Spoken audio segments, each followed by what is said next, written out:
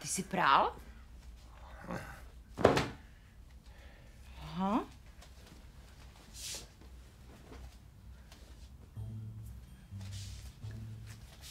Na koľkatých stupňoch? Toto si mám ako obliecť? Urobil si mi z toho XXS. Tak aspoň máš motiváciu sa do nich vypracovať.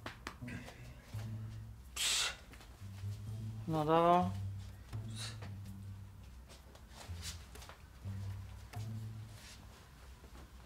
Ondrik.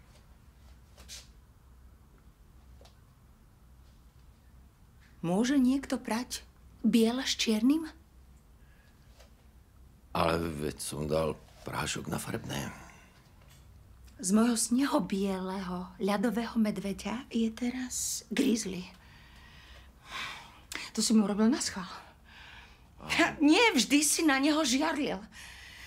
Len si čakal na vhodnú príležitosť. Vedel si, že som mala v detstve Ondrika, že som o neho prišla. Daroval si mi druhého, aby si sa mi mohol takto pomstiť. Chudák, to je... Mal by si sa dať liečiť.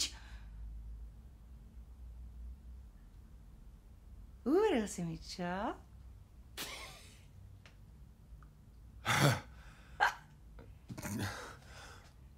Úplne. Som dobrá herečka. Teda mohla by som byť. A to si fakt zahrala? Hej, no. Ale fakt.